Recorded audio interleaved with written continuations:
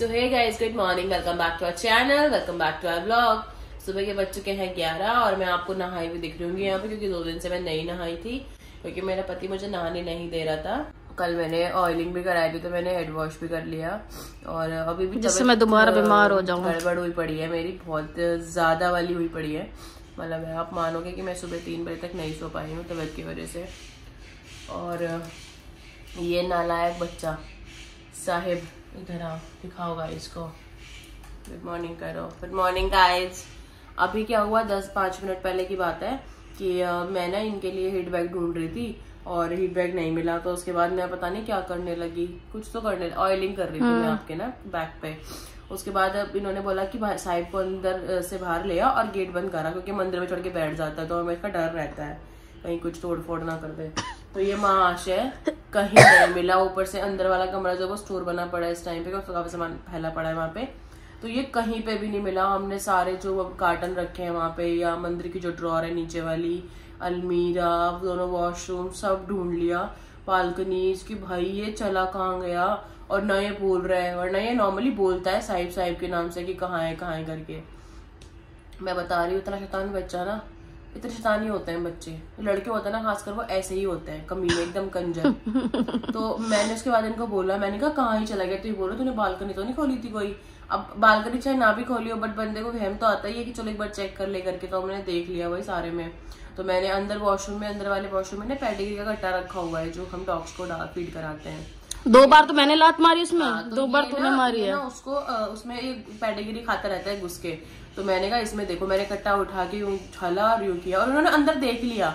दो बार ये देख चुके थे ऑलरेडी अब भाई दोनों बार देख के भी नहीं पता लग रहा कि ये गया कहाँ। साहिब साहिब कर रहा ना ये बोल रहा कुछ। फिर तीसरी बार मैंने बोला कि आप एक बार फिर से देखो जाके। तो ये पेडिग्री के कट्टे के बिल्कुल अंदर है। नहीं आवाज़ आई मेरे को।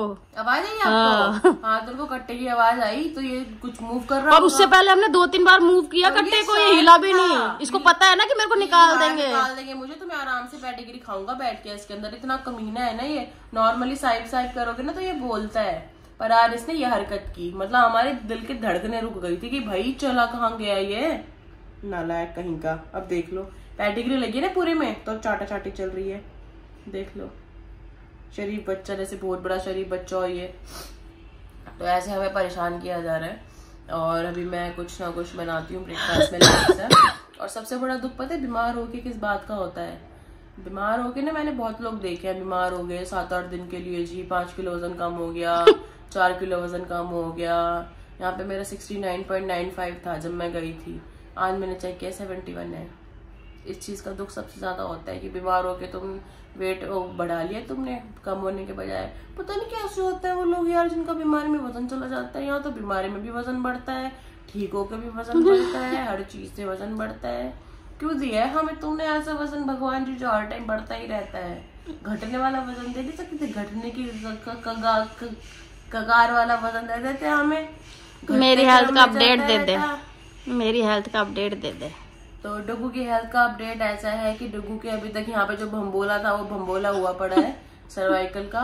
उसके साथ साथ जो दोनों शोल्डर है, वहाँ पे भी पेन स्टार्ट हो चुका है।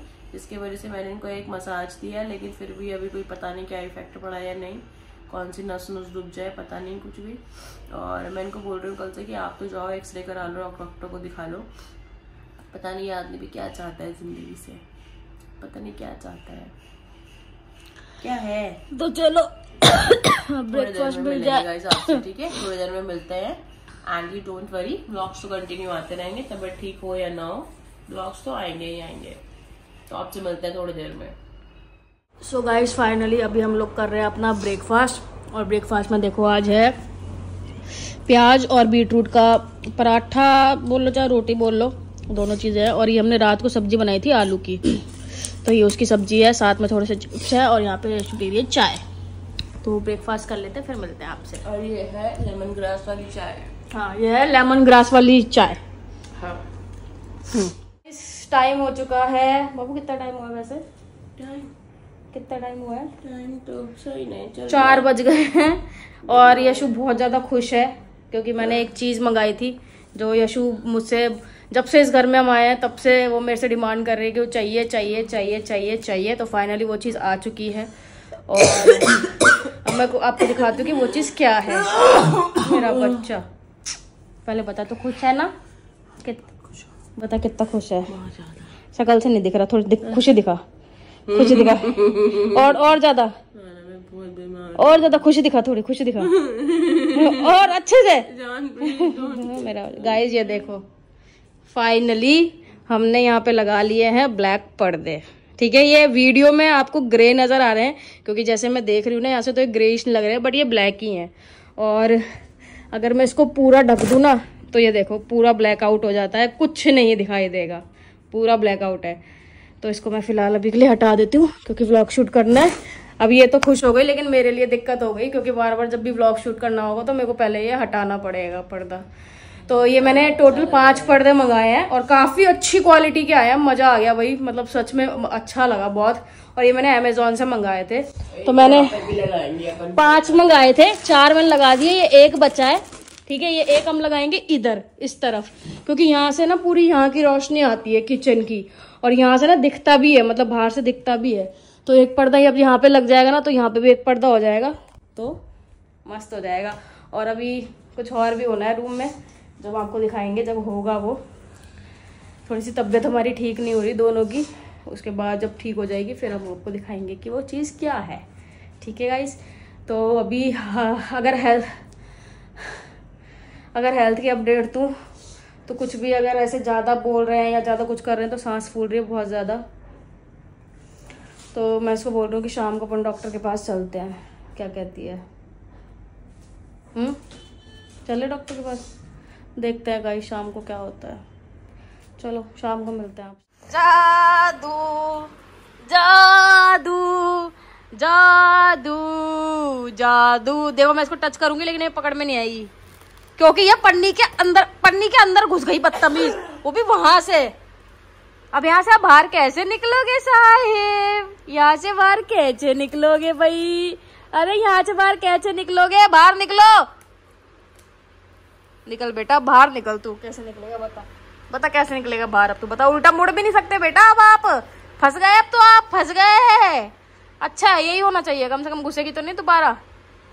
बहुत बढ़िया हुआ, बहुत बढ़िया हुआ, बहुत बढ़िया, बहुत ही बढ़िया। मज़ा आ गए, मज़ा आ गए, मज़ा आ गए भाई, मज़ा आ गए। मज़ा आ गए भाई, मज़ा। अरे रे रे रे रे रे अरे रे रे रे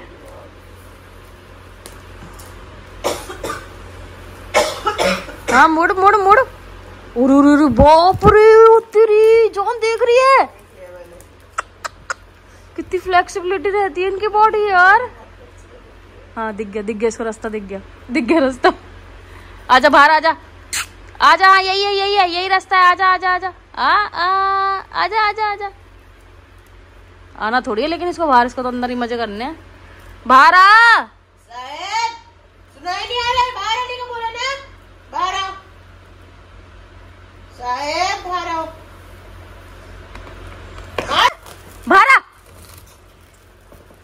देख रहे देख रहे देख रहे कितना बदमाश। बिल्कुल भी बिल्कुल- बिल्कुल तमीज नहीं है। दादू रात के बज चुके हैं साढ़े आठ आई मीन नौ बजने वाले हैं। रात के नौ बजने वाले हैं और हालत में कुछ खास सुधार नहीं है। मतलब आप समझ लो कि उन्नीस बीस वाला जो फ़र्क जिसको बोलते हैं वैसा वाला फ़र्क है। और सबसे ज़्यादा जो तबाही कर रखी है हमारी ज़िंदगी में स्पेशली मेरी वो है खांसी ने जिसके वजह से मेरी पूरी ये चेस्ट दुख रही है और स्टमक दुख रहा है और बॉडी फीवर फीवरिश हो रही है बॉडी तो वो एक अलग ही सिनेरियो चल रहा है। खैर खाना हम खा चुके हैं और अ, डुग्गू और मैं अभी कुछ देख रहे थे बस। वीडियोस वगैरह देख देख के अपने आप को बहलाने की कोशिश कर रहे थे और डुग्गू ने तभी मुझे बहुत तेज एक अ, डांट लगाई बहुत ज़ोर से ये कह के कि तू व्लॉग शूट नहीं कर रही डुगू ने डुगू को सिर्फ़ गाइस की पड़ी है डुगू को अपनी बीवी की नहीं पड़ी कि यशु की तबीयत ज़्यादा खराब हो रही है और उससे शूट नहीं किया जा रहा तो कोई बात नहीं गाइज़ कोई बात नहीं व्लॉग शूट करते करते ही शहीद हो जाएँगे आ आ मम्मी करेगी बकवास दरअसल मेरी जो सिचुएशन है वो ज़्यादा ही क्रिटिकल हुई पड़ी है। ना ना मैं थप्पड़ मारूँगी जाके। बोल रही फिर ऐसे? तुम्हें दिखाई दिखाई देना बंद हो गया क्या तुमको? और ये इस, इसको पता नहीं किस चीज़ का वो है ये बस सोने के अलावा कोई काम ही नहीं है। हमारे नए पर्दों पे। देखो नए पर्दे कितने मस्त लग रहे हैं ना ब्लैक अब देखो ब्लैक नज़र बिल्कुल ब्लैक ही। दिख रहे हैं। तब ब्राउन दिख रहे थे हल्के से ग्रेश नहीं दिख रहे थे। तबीयत खराब में तुम्हारी आँखों का भी अलग अलग सिस्टम हो गया बिल्कुल ही। ये तो कल ठीक हो जाएगा, टेंशन वाली कोई बात नहीं है, देखो। तीन दिन के कॉन्सर्ट में गए थे, बीमार हो गए। अच्छा लेटेस्ट एक न्यूज़ बताती हूँ आप लोगों को मैं। ये बेड लगा है इधर कॉर्नर की तरफ़, ठीक है? यहाँ में ना तो पंखों की हवा लगती, ना एसी की हवा लगती, ये आदमी सोता है यहाँ और मैं सोती हूँ उधर। अब रात को जब मुझे गर्मी लगती है ना, क्योंकि मैं कोने में होती हूँ उधर फ़ैन और एसी में से कुछ भी नहीं आ रहा, ये आदमी आराम से मस्त ब्लैंकेट उतार के गर्मी लगी तो और एसी चला दिया। अपनी गर्मी लगी तो एसी चला दिया। अपना ठंडा लगा तो एसी बंद कर दिया। भाई, ये क्या बात होती है? बराबर वाले की हालत खराब हुई पड़ी है पसीने से, उसको कोई मतलब नहीं है। ठीक है जी? उसके बाद साथ मैंने सुबह आपको बताया होगा, नाश्ते में बची हुई सब्ज़ी के लिए कि आलू की सब्ज़ी है। नहीं।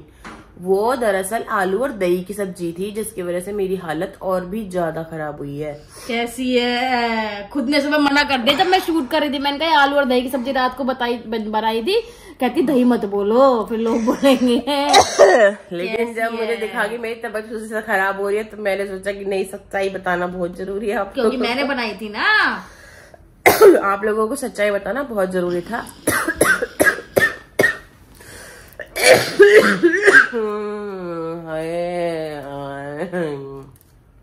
तो ये कहानी हुई। और बस मेरा दुख वही नहीं पट नहीं रहा। बीमारों के लोगों के वज़न कम हो जाता है, हमारे बढ़ रहे हैं। ऐसे कैसे? गलत बात है ना, नहीं बढ़ना चाहिए ना वज़न। वज़न बढ़ने की वजह क्या है? क्यों बढ़ता है आखिर वज़न? ओके तो मैं उसके बाद भी कुछ बताने वाली थी यार, मैं भूल गई। पकड़ना एक बार कैमरा। मैं क्या बताने लगी थी? कुछ तो बताना था यार मुझे। शिट बहुत सीरियस बताना था और वो जो मैसेज आया उसका? नहीं। अच्छा मैंने ये डिसाइड किया है कि ये थोड़ा ऊपर करो फ़ोन ये जो पैड है ना आप इस वाले जगह से हटा के हम उधर ही लगाएँगे। बिकॉज़ ये कोने में है ना ये कोने में है ना जिसकी वजह से मुझे हवा नहीं लगती मुझे बहुत गर्मी लगती है। और ये तो अब बाप बेटे दोनों सो जाते हैं। आराम से रात को मेरे को नींद नहीं आती तबीयत खराब की वजह से। तो जल्दी ये उधर लगाएँगे और आपको इस रूम का पूरे का मेक ओवर नज़र आएगा। और ये हमारी स्टंट गर्ल ये देख सकते हो फिर। साहेब! फिर घुस गया साहेब नो पता नहीं ये आदमी अपनी ज़िंदगी से क्या ही चाहता है क्या ही चाहता है मुझे नहीं समझ में आता। ये क्यों करता है ऐसी हरकतें? ये कहाँ से आया है यार ये बंदा? ए बाहर आ तू। इसको एमसी स्टैंड के पास भेज दो। क्यों? सही रहेगा ये वहाँ पे। हम्म। वो डेढ़ करोड़ पहनता है इसको थोड़ा बहुत डेढ़ दो रुपए का तो पहनाएगा ही।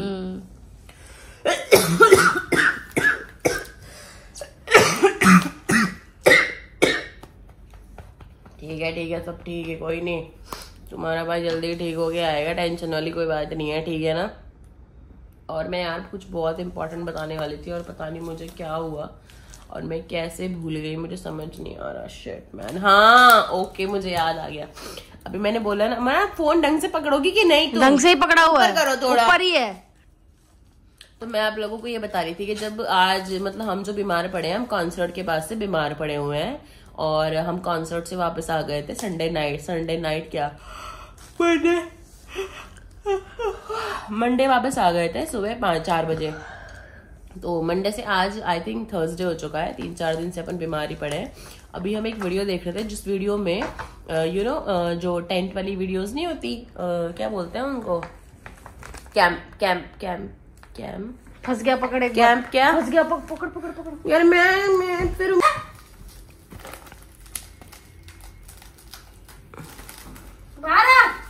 वो जान पूछ के नहीं आ रहा। बारह मोटा चिपकला है ये। बारह बारह बारह खींच लो ना इसको खींच लो खींच लो खींच लो। इसको तो थप्पड़ मारो मुँह पे खिंचा के बदतमीज बहुत वही तो। ज़बरदस्ती की ऐप लेने हमारा दिमाग खराब करना है। शैतानिया हर टाइम। अभी तो खुद ही लेने बदतमीज। मेरा बच्चा। नो। मेरी राजकुमारी लग जाएगी तेरे को। मुँह मत मम्मी। चलो वीडियो देख रहे थे दरअसल। तो वीडियो में आ गई भाई वो कैंपियन कुम्पियन की वीडियो, जिसमें वो एक पति पत्नी थे, वो अपना कैंपियन कर रहे हैं पहाड़ों पे, झरनों के पास, नदियों के पास, बाकी बीवी सैंडविच बना रही है, शिमला मिर्च काट काट के, या तो फिर वो पुलाव बना रही है, बीन्स काट कूट के और वहाँ के बाद वो आदमी कह रहा है कि हम कैंपेन कर रहे हैं, हमने अपनी हैरियर में पीछे गद्दे बिछा दिए अब हम इसमें सोएँगे, बाहर बारिश हो रही है और यहाँ पे ये सैंडविच बना रही है। वो वीडियो देखने के बाद मेरे पति का पता क्या रिप्लाई आया? चार दिन की तबीयत खराब है जबकि चार दिन से इस फ्लैट से बाहर नहीं निकले वन बी से। बाबू यार, मेरे बहुत मन करता है कैंपेन का, बहुत मन करता है, हम भी करेंगे यार, कभी हम भी करेंगे। तेरी कसम, मेरा तो मन करता है ना तीन दिन के कॉन्सर्ट के बाद, चार दिन तक तो बीमार पड़ा हुआ है तो तो कैंपेन की आग लगी है। शर्म आती कि नहीं आती थी थोड़ी सी भी। मतलब आदमी अपने वजूद से ज़्यादा की बात जब करता है ना, फिर मेरा दिमाग खराब हो जाता है। भाई, क्या ज़रूरत पड़ी है तुम्हें कैंपेन की? बात भी क्यों करनी है तुम्हें कैंपेन की? है? तुमको सत्ताईस डिग्री टेम्परेचर तो झिलता नहीं है। पच्चीस डिग्री टेम्परेचर में तुम्हें ठंड लगती है, हैं? सत्रह डिग्री टेम्परेचर में तुम एक सौ चार बुखार में पड़ जाते हो। फिर तुम बात करते हो कैंपेन करेंगे, जी, हम तो माउंटेन पे। हैं? और भी शर्म वाली बात कर लिया करो थोड़ी। और नदी झरनों में लेके चली भी गई ना कभी कैंपेन के लिए तो वो चाकू चूरी से शिमला मिर्च काटती, मैं नज़र आऊँगी वहाँ पे। याद में देखे, बाबू भूत लग रही है। ऐसा दिल करेगा, यही रख दो चाकू इसके। बना, चल तू। मतलब सीरियसली बोल रही हूँ मैं, यही होगा अगर कभी कैंपेन में हम चले भी गए ना, और दूसरी, मेरे तो मौत आ जाती है गाड़ी देखते ही, गाड़ी में सोना पड़ेगा पूरी रात। गाड़ी में, रोशनी में बैठने में मुझे घबराहट होती है, खा तो नहीं जाएगी मुझे, अंधेरे में तो सोच लो बस, सुबह मैं यू ही मिलूँगी। बाबू मुझे पता था तेरे को डर लगता है तेरे को फोबिया है गाड़ी से इतना नहीं पता था कि इतना फोबिया है कि तू चली जाएगी। तो समझ रहे हो? भैया कैंपेन क्यूम्पेन अपनी बस की बात नहीं है। पता लग रहा है हमारे टेंट में सांप घुस जाए। इनको तो वैसे ही पता नहीं कीड़े काड़े कहाँ कहाँ घुसते रहते हैं। समझ रहे हो ना? मतलब ये कहानी थोड़ी सी अलग है। तो कहने का मतलब ये है कि तुम कॉन्सर्ट ही संभालो। तुमसे एक सिंगल कॉन्सर्ट तो तीन दिन का झेला नहीं। फिर तुम बात करते हो कैंपेन की। इसके अलग दुख है। इसके दुख नहीं निमट रहे। करे आदमी। चलो गाइस थोड़ी देर के बाद मिलते हैं। बहुत हो गया